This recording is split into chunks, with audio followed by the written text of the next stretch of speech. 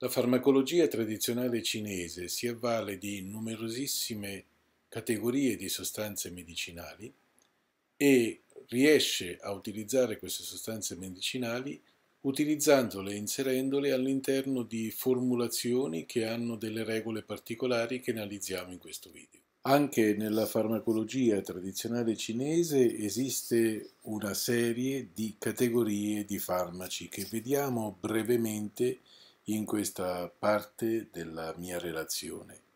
In primo luogo i farmaci che liberano l'esterno, che trattano gli attacchi esterni del vento, del freddo, dell'umidità. E poi i farmaci che purificano il calore, che sono i nostri antinfiammatori. E poi i farmaci che indirizzano in basso, i nostri eh, purganti, lassativi, catartici. E poi Heiji e Yao, i farmaci che armonizzano, servono per armonizzare le funzioni di alcuni organi addominali, per esempio fegato e pancreas, o fegato e stomaco. E poi farmaci che drenano l'acqua e trasformano l'umidità, sono i nostri diuretici. Continuiamo con altre categorie di farmaci e vediamo in primo luogo i farmaci che eliminano il vento e l'umidità, i nostri antireumatici, i farmaci che trasformano i TAN, gli anticatarrali, i farmaci che promuovono la digestione, i nostri eupeptici, e poi i farmaci che promuovono la circolazione del C e del sangue. Ovviamente noi capiamo bene che significa promuovere la circolazione del sangue, ma in Cina si dice che il sangue contiene il C e che è l'energia che muove il sangue, il sangue che è invece il luogo dove si conserva l'energia. Abbiamo poi ancora altre categorie come i farmaci che eliminano il freddo, che sono dei farmaci potentemente riscaldanti l'interno, e poi quelli che tonificano. Questa categoria dei tonici è estremamente importante perché in medicina cinese si individuano alcuni quadri clinici correlati a deficit dello yin, a deficit dello yang, a deficit del sangue, a deficit dell'energia e dunque questi farmaci tonici sono quelli che sono in grado di trattare questi quadri clinici che spesso sono dei quadri preclinici, situazioni nelle quali dunque si può intervenire prima che il malato si ammali. Sifeng Yao sono i farmaci che calmano il vento, i nostri anticonvulsivanti. Poi abbiamo i farmaci astringenti che servono per trattenere all'interno liquidi, oppure energia, oppure la sudorazione, oppure anche il seme nel caso di eiaculazione precoce. Da ultimo i farmaci che calmano lo Shen, che sono i nostri ansiolitici. Ulteriori due categorie di farmaci sono quelli dei farmaci aromatici che aprono gli orifizi e poi infine i farmaci antielmintici i farmaci Chu Chong Yao che eliminano i vermi. Ovviamente su tutte queste categorie di farmaci esiste in questo momento una grande ricerca scientifica. Se si clicca Chinese Phytotherapy su PubMed troviamo 7894 eh, ricerche, ma se cerchiamo invece Chinese Herbal Therapy le ricerche aumentano e ne troviamo 28.147 che diventano 171.885 con Chinese Pharmacology. Questo significa che ormai c'è una grandissima ricerca scientifica su questi prodotti che viene effettuata in Occidente, ma viene effettuata anche potentemente in Cina, in Giappone, nei paesi dell'estremo oriente. Anticamente la farmacologia cinese si basava sulla presenza di quattro sostanze fondamentali che dovevano essere presenti all'interno di ogni ricetta e queste quattro sostanze fondamentali erano in qualche maniera individuate da nomi di governanti.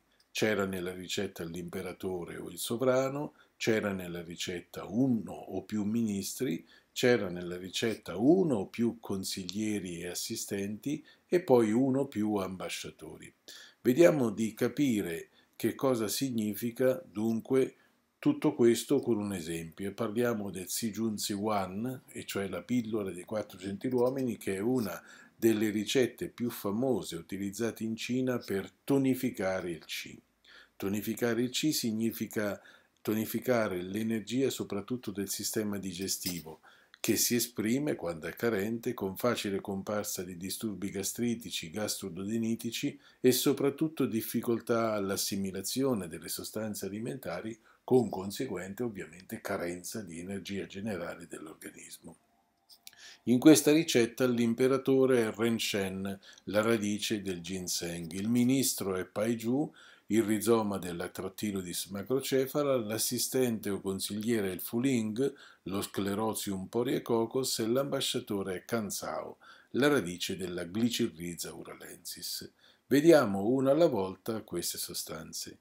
Dunque l'imperatore è ginseng. Il ginseng in questo caso serve per tonificare le funzioni del pancreas e della digestione e rinforzare il C. Qual è il ruolo dell'imperatore in una ricetta? Il ruolo dell'imperatore è quello di indirizzarsi al trattamento del problema più importante. Questo rimedio dunque assolutamente indispensabile non può essere sostituito da altre sostanze all'interno della formula. Generalmente il dosaggio è più alto e l'imperatore della formula di solito è un solo rimedio, meno frequentemente possono essere due o tre rimedi. In questo caso si tratta del ginseng che secondo la medicina cinese tonifica il pancreas, il polmone, tonifica alcune forme di energia, genera liquidi organici e ha un effetto anche sedativo. Questo farmaco, analizzato secondo la ricerca scientifica occidentale, ha visto possedere effetti a livello del sistema cardiovascolare con effetto inotropo positivo, è un anti-iperlipemico, ha effetto a livello del sistema nervoso centrale con azione stimolante per un verso e sedativa dall'altra, ha un effetto nootropico perché migliora l'attività mentale, ha effetto a livello endocrino visto che stimola la ghiandola pituitaria a produrre maggiori quantità di ACTH, il quale a sua volta stimola le ghiandole surrenali, ma la stimola anche a produrre gonadotropine, ha effetto antidiuretico, ha effetto epatoprotettivo, antitumorale, antinfiammatorio. Sono tantissime dunque le azioni di questo farmaco che sono state abbondantemente studiate in Cina e in Occidente. Il ministro della ricetta è Paiju, che, secondo l'antica formulazione, serviva a aiutare il ginseng a prevenire il ristagno di umidità provocato da questo deficit di milza pancreas. Paiju sarebbe dunque il ministro che all'interno di una prescrizione può svolgere due compiti di supporto al sovrano. In primo luogo aiutarlo a trattare il problema principale, secondariamente può essere indicato per la terapia di sintomi collaterali di rilievo. Dunque capita spesso che le persone presentino dei quadri clinici complessi che sono il risultato dell'intersezione di varie sindromi tra loro correlate, la principale affrontata dal, dal rimedio sovrano, le secondarie dal ministro. Spesso in una ricetta ci sono più ministri. Nel caso del Paiju abbiamo detto che questo farmaco aiuta il rimedio sovrano, cioè il ginseng, a trasformare i liquidi. Effettivamente ha un effetto diuretico che è studiato anche dal punto di vista della medicina occidentale, ma ha anche azione antiaggregante piastrinica, è un immunostimolante perché aumenta l'attività dei macrofagi, ha azione antidiabetica, adattogena ed antineoplastica. Fuling è il consigliere o assistente che in questa ricetta svolge il compito diuretico di trasformare l'umidità, dicevano gli antichi cinesi. Che cos'è un rimedio consigliere o assistente nell'antica farmacologia cinese? Il consigliere può svolgere più compiti nella stessa prescrizione che vengono denominati specificatamente, cioè il consigliere aiutante, che tratta i sintomi collaterali di minore importanza, il consigliere assistente, che modera e smorza gli effetti collaterali dell'imperatore e del ministro, o il consigliere di opposizione che sostiene un effetto opposto a quello del sovrano in ricette formulate per patologie gravi e disordini complessi. Bene, Fuling ha varie azioni, è considerato un diuretico nella medicina tradizionale cinese, ma possiede anche un'azione antibiotica, possiede anche un'azione antineoplastica, sedativa e cardiotonica. Da ultimo abbiamo Cansao, la radice della glicirriza uralensis. La radice della liquirizia ha il compito di armonizzare e coordinare tutti gli altri rimedi di questa ricetta ed è l'ambasciatore, e cioè è quel farmaco che eh, ha il compito di indirizzare la formula verso un tessuto, un organo, un viscere, proprio per questo viene chiamato ambasciatore, e contemporaneamente ha il compito di smorzare alcuni effetti collaterali degli altri prodotti. Spesso l'ambasciatore favorisce anche l'assimilazione, l'assorbimento intestinale dei farmaci e attenua eventuali effetti irritanti sull'apparato digerente.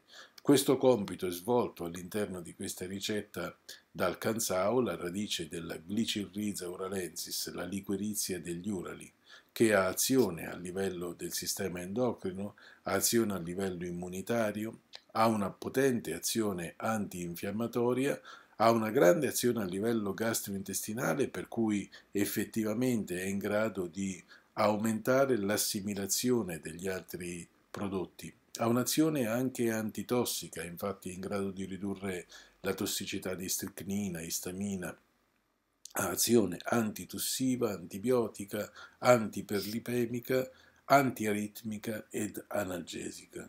L'intera ricetta che abbiamo esaminato fino adesso è stata analizzata anche dal punto di vista della ricerca medica occidentale e si è verificato che ha un'azione regolarizzante gastrointestinale, ha un'azione immunostimolante, ha un'azione antineoplastica, ematopoietica e dunque esercita effetto tale che può essere utilizzata anche nel caso della radioprotezione.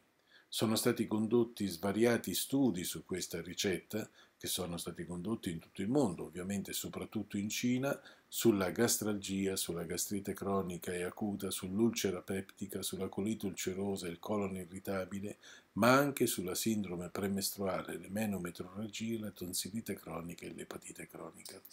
È semplicemente questo che ho fatto un esempio di una ricetta che serve per capire come l'antica medicina tradizionale cinese nel settore della farmacologia può essere utilizzata secondo gli antichi criteri, ma anche e soprattutto tenendo conto della ricerca scientifica occidentale più moderna.